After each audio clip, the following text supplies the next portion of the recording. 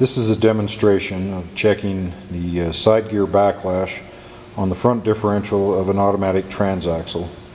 This uh, differential happens to be out of a Toyota A245E uh, transaxle like you'd find in a mid 2000 uh, Toyota Corolla.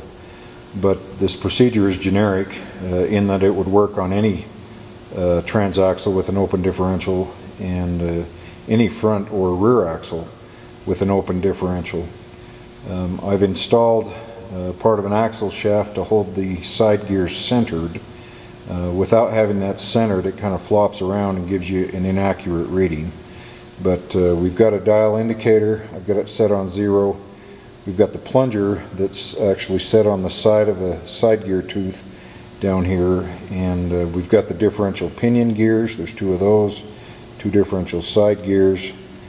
And uh, I'm going to attempt now to measure the side gear backlash.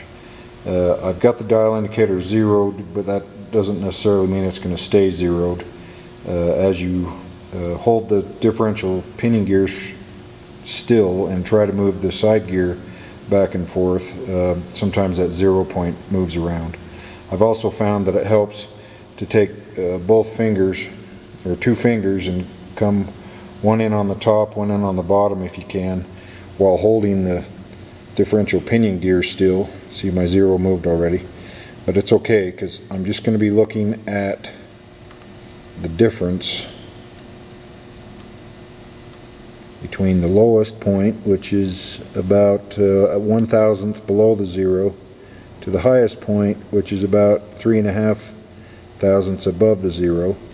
That's my side gear backlash.